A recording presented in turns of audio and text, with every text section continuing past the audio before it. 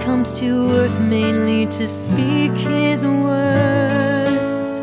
What you engage, see, and hear is God's word. What you abide by is the word of God. What you experience is the word of God. This incarnation of God mainly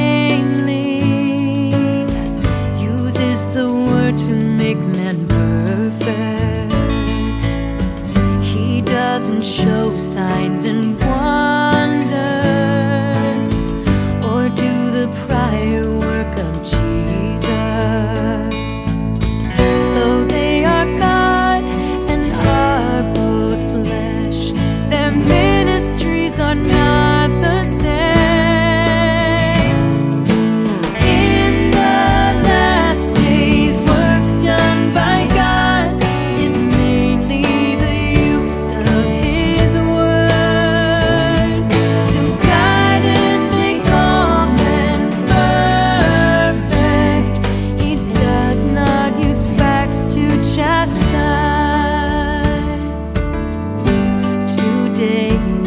has become